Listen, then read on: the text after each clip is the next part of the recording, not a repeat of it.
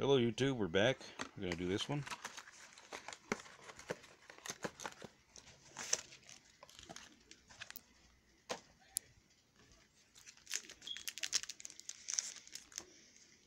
There's a Kirk Hinrich, Trevor Booker, Hassan Whiteside again, Stephen Curry, and a JJ Redick silver.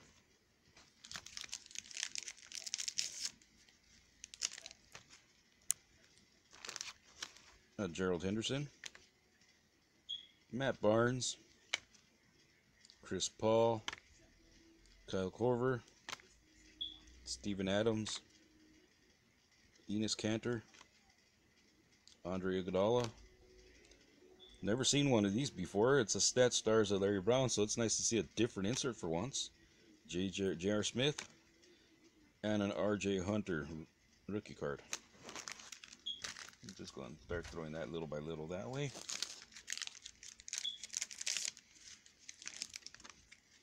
Last pack. Matthew Dellavedova, who's not that great. Luol Deng.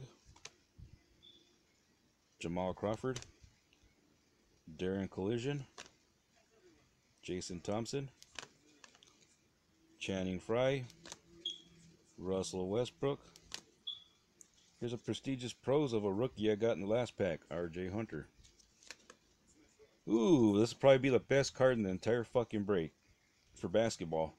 Magic Johnson, Brilliant Beginnings. As y'all know, he's my favorite player. And hey, we end up with the uh, Lakers rookie, Larry Nance Jr. But yeah, we're going to leave that up here. That's the only card that fucking matters.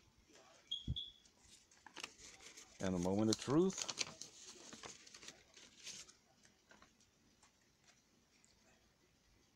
Rashad McCants Topps Finest Relics. 150 out of 1629.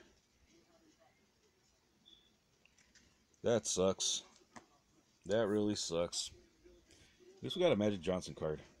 But yeah, I don't think I'm gonna be buying any more of these basketball. I gave I gave these fuckers credit for giving good stuff at the beginning when I was opening these boxes, and this is what they do. They repay me by putting garbage players that I don't even know who the hell they are. Anyways, thanks for watching, and we'll see you on the next video. Oh, and I want to say it too. Fuck you, Fairfield.